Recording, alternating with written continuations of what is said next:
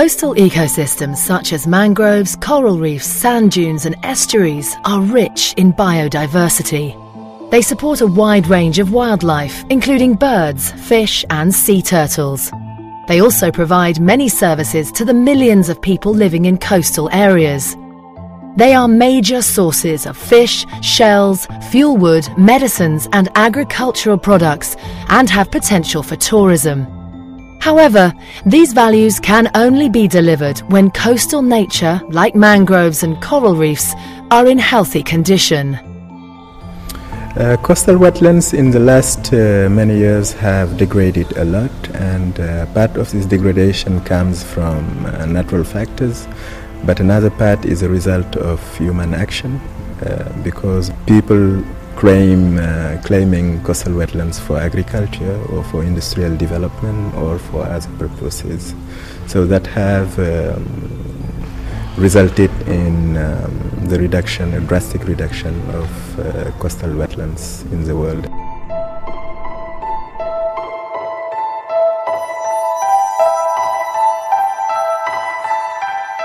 Coastal nature also acts as first line of defence against the impact of storms, high tides, and the subsequent risk of flooding.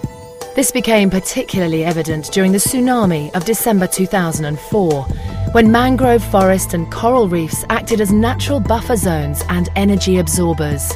They did not always stop the tsunami waves from coming in, but helped to reduce its impact and damage. Also, natural sand dunes were important buffer zones and protected the people and villages living behind it. Tsunami டயத்தில் இந்த அருகில் உள்ள பிச்சோவரம் தாசோப்பேட்டை எல்லாம் எந்த விதமான சேதமும் இல்லைன்னா அங்கே உள்ள மேங்க்ரோங்கிற காலத்தில் காடுகள் தான் அந்த தண்ணீரை தடுத்து அந்த மக்கள்லாம் எந்த விதமான பாதிப்பும் இல்லாமல் காப்பாத்துச்சு Climate change is a new challenge posed on especially tropical coasts. As a result of warmer seawater, cyclones and hurricanes will become more extreme. Another impact of climate change is the rise of sea level. Salt water will intrude and spoil coastal freshwater basins and agricultural land.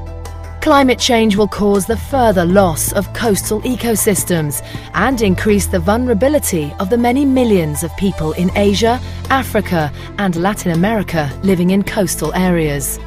Mangrove ecosystems can actually help protect against those threats. Wetlands can help through protection against storms.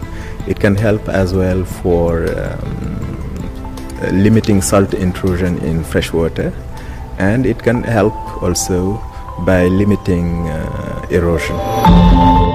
Wetlands International and its partner organisations WWF, IUCN, and Both ENDS have been restoring mangroves and other coastal nature in the tsunami affected areas of Asia and on the coasts of West Africa. In this approach, called Green Coast, poor communities are participating and being rewarded when they restore and manage their areas well. Green Coast provides financial and technical support to communities for livelihood activities, and in return, they plant mangroves or other coastal trees. In this way, coastal communities become more protected and prepared for the impacts of climate change. It also provides them with new livelihoods, fish stocks recover, and freshwater basins are protected. In three years' time, Green Coast partners were able to plant 1.2 million mangrove seedlings, re establishing over a thousand hectares of coastal forest. In total, this provided 91,000 people in the tsunami hit areas with more security from restored coastal ecosystems. Green Coast has proven to be a successful approach to effectively rehabilitate coastal nature and to make coastal communities more resilient for the impacts of climate change. Wetlands International therefore calls for large-scale implementation of Green Coast and use of this approach in climate change adaptation strategies.